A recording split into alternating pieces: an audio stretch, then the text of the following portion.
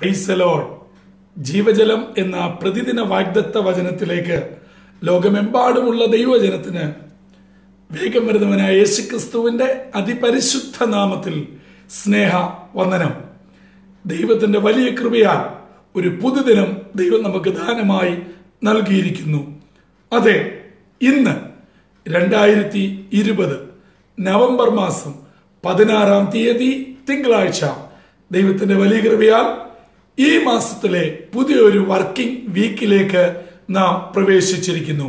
ഈ ആഴ്ചവട്ട കാലം ആയിരിക്കുന്ന ഇടങ്ങളിൽ ആരോഗ്യത്തോടും സന്തോഷത്തോടും സമാധാനത്തോടും ജോലി ചെയ്യുവാൻ കുടുംബങ്ങളെ പുലർത്തുവാൻ യാത്ര ചെയ്യുവാൻ ദൈവകൃപയോടും സന്തോഷത്തോടും ആയിരിപ്പാൻ ദൈവത്തെ ആരാധിപ്പാനും തമ്പുരാൻ നിങ്ങളെ ഓരോരുത്തരെയും ഇടയാക്കട്ടെ എന്ന് ആത്മാർത്ഥമായി പ്രാർത്ഥിക്കുകയും ആശംസിക്കുകയും ചെയ്തുകൊണ്ട് ഇന്നത്തെ വാഗ്ദത്ത വചനത്തിലേക്ക് പ്രവേശിക്കാം.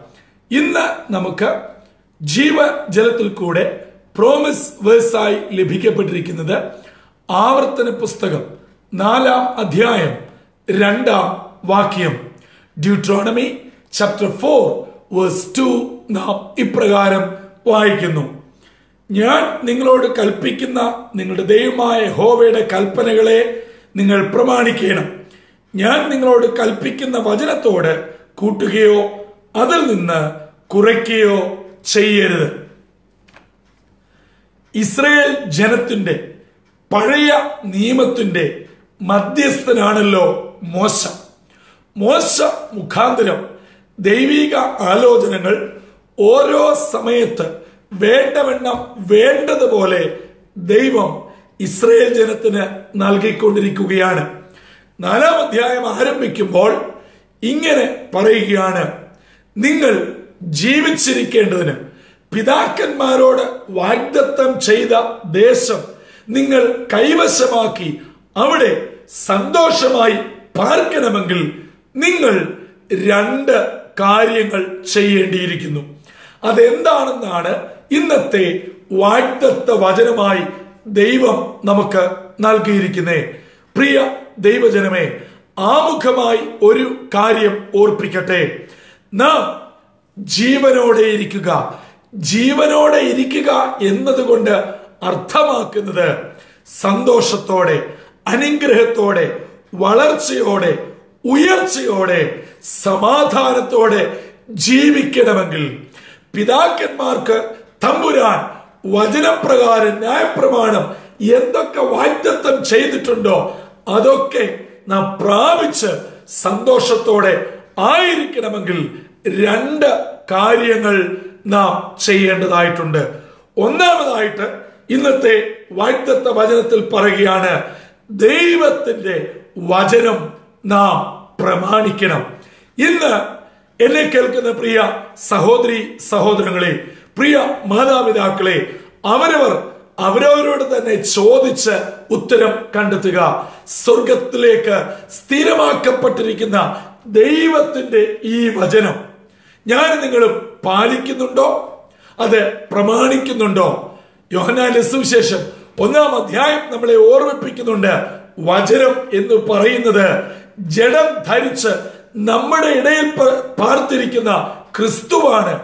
ആ യേശുവാണ് അതായത് ദൈവമാണ് വചനമായി നമുക്കിടയിൽ പാർത്തിരിക്കുന്നത്. അങ്ങനെയെങ്കിൽ യേശുവിനെ അനുസരിക്കുവാൻ യേശുവിനെ പ്രമാണിക്കുവാൻ വചനത്തെ അതുപോലെ ഉൾക്കൊള്ളുവാൻ എനിക്ക് നിങ്ങൾക്കും കഴിയുന്നുണ്ടോ?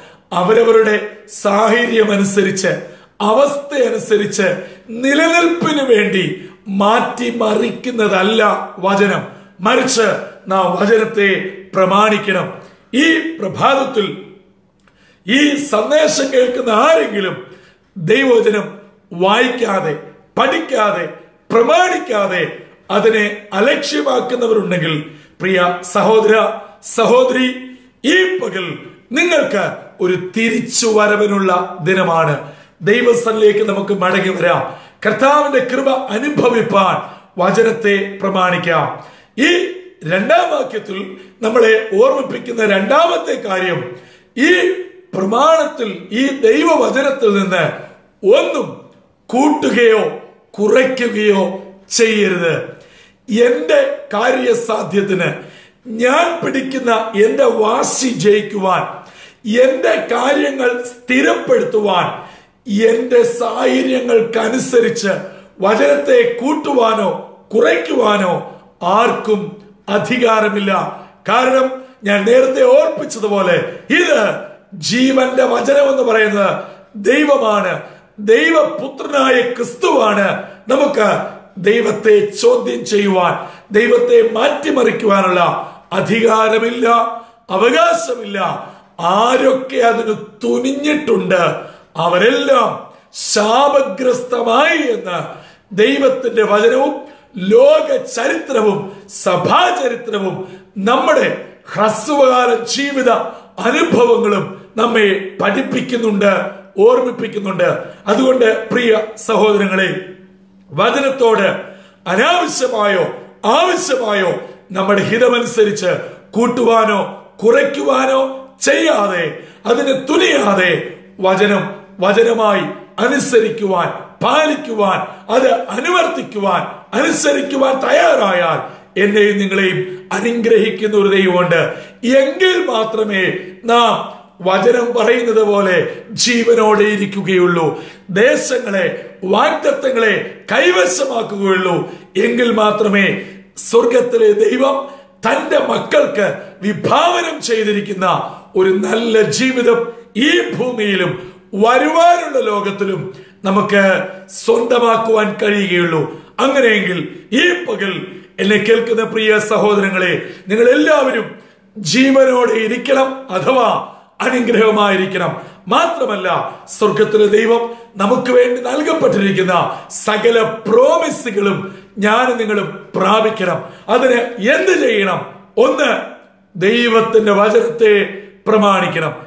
രണ്ട് ദൈവവചനത്തിൽ മായം ചേർക്കാതെ കൂട്ടാതെ കുറയ്ക്കാതെ അത് അതുപോലെ അനുസരിക്കുവാൻ ഉൾക്കൊള്ളുവാൻ തയ്യാറായാൽ എന്നെയും നിങ്ങളെയും സ്വർഗത്തിലെ ദൈവം അനുഗ്രഹിക്കും. അങ്ങനെയെങ്കിൽ ഇന്നത്തെ പകൽ എവിടെയെങ്കിലും വീഴ്ച വന്നിട്ടുണ്ടെങ്കിൽ ഒരു മടങ്ങി വരവിന്റെ ദിനമായി ജീവിതത്തെ ക്രമപ്പെടുത്തുകയും അതിൻ മുഖാന്തരം ഈ പകൽ ഒരു അനുഗ്രഹമായി നിങ്ങളുടെ ജീവിതത്തിൽ ഉണ്ടാവട്ടെ. ഒരു നന്മ വരട്ടെ. ദൈവകൃപ പൊതിയട്ടെ. അങ്ങനെ നിങ്ങളെ കാണുന്നവർ നിങ്ങളിൽ കൂടെ ഈ ജീവിക്കുന്ന ദൈവത്തെ കാണട്ടെ. അങ്ങനെ നമുക്കൊന്നിച്ച് നിത്യതയുടെ തുറമുഖത്ത് യുഗായുഗം ജീവിക്കുവാൻ സ്വർഗത്തിലെ ദൈവം നമ്മെ ഓരോരുത്തരെയും സഹായിക്കട്ടെ. ഇന്നത്തെ പകൽ ഈ ആഴ്ചവട്ട കാലം നിങ്ങൾ ഇറങ്ങിത്തിരിക്കുന്ന സമസ്ത മേഖലകളും ദൈവകൃപകൾ കൊണ്ട് അനുഗ്രഹവും നന്മയും സന്തോഷവും ഉണ്ടായി.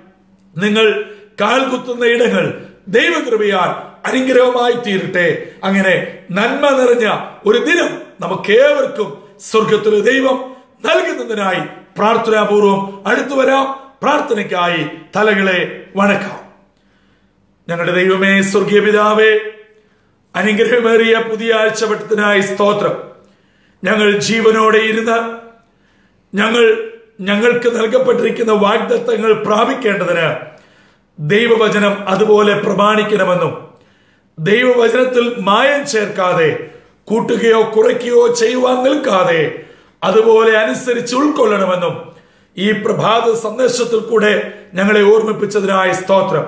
അതനുസരിച്ച് വചന ഞങ്ങൾ പ്രമാണിച്ച് അനുസരിക്കുമ്പോൾ അവിടുത്തെ ഞങ്ങളെ ഉയർത്തുന്ന അനുഗ്രഹിക്കുന്ന ജീവനോടെ നന്മയോടെ നിലനിർത്തുന്ന ഒരു ദൈവമാണെന്ന് ഈ പ്രഭാത സന്ദേശം ഞങ്ങളെ ഓർമ്മിപ്പിച്ചതിനായ സ്തോത്രം.